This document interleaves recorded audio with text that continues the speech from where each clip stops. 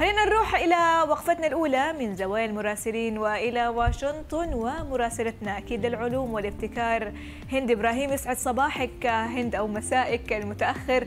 وهناك دراسة غريبة يمكن أن ترفع من معنويات الآباء في تربية الأطفال وهي تحيي الأدمغة. ما هي تفاصيلها؟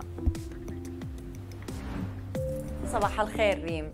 أكبر دراسة على الإطلاق تخص كيفية يتعامل الدماغ دماغ الآباء مع الأبناء.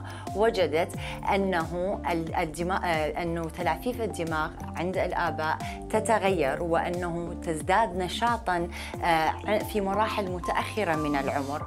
طبعا الدراسة تشمل الأب والأم مما يعني أن هذا التغيير ليس له علاقة بالبيولوجيا ولا علاقة بالحمل. وفقا لإدوانا أورتشارد وهي من جامعة ييل المشاركة في هذه الدراسة التي قام عليها UK Biobank وبتجريب بتجربة التصوير التصوير الرنين المغناطيسي على أكثر من 40 ألف شخص.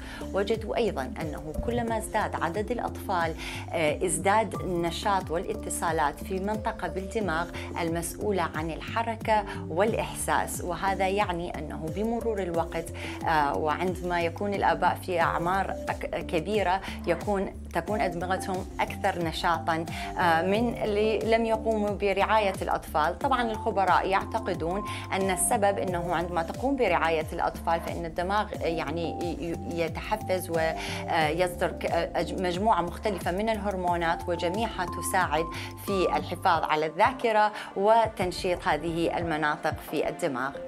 يعني زي دائما ما نقول في الزواج أو في العائلة الأب جزء لا يتجزأ من التربية ويجب إنه يكون جزء مهم أيضا في تربية الابناء وهذا الشيء كمان بينعكس عليه بشكل إيجابي.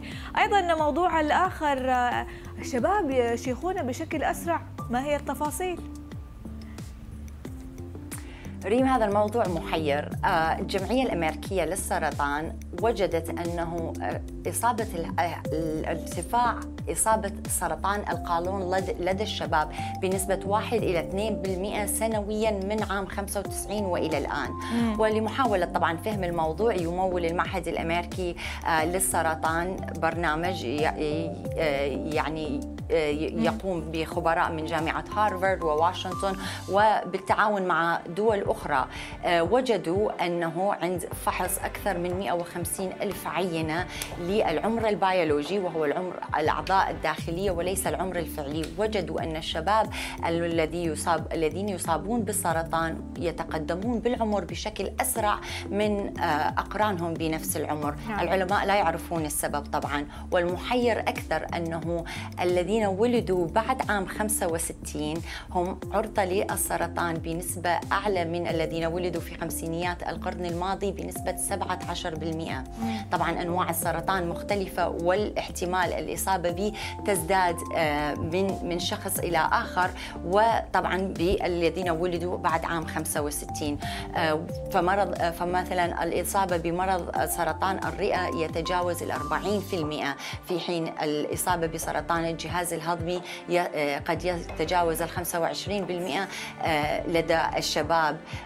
العلماء لا يعرفون إلى حد الآن الأسباب الحقيقية التي تؤدي إلى هذا التسارع بالعمر، طبعا العمر البيولوجي وفق للخبراء يتأثر كثيرا بالضغوطات سواء النفسية أو الجهد الجسدي نعم. آه لكنه عادة ما يعني يستعيد عافيته بعد آه انتهاء نعم. المدة التي نتعرض فيها للضغط. يعني اتهال الأسباب واضح الأكل كله صار ما هو حقيقي والتلوث اللي بنعيشه والإشعاعات والعالم هذا الكبير الكبير اللي أصبح مكان غير آمن للإنسان. هند شكرا لك على هذه القصص وشكرا لوجودك معنا في هذا الصباح.